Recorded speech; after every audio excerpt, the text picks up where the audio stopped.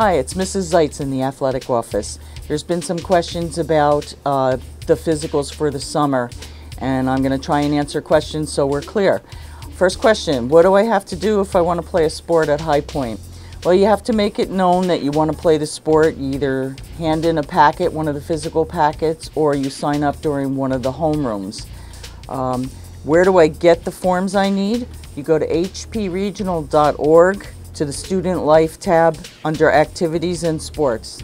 And then once you get there, the forms, which is the next question, there's an athletics form packet and a physical exam info. That'll tell you all about the dates and what the times are for the um, physical exams.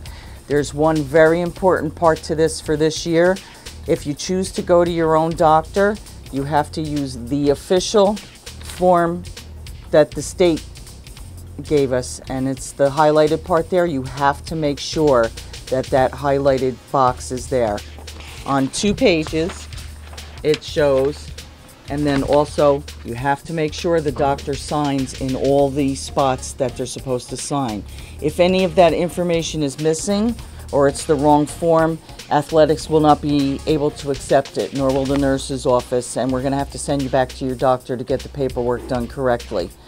So that's about it. Our physicals are June 22nd, 25th, and 26th, and again on August 6th.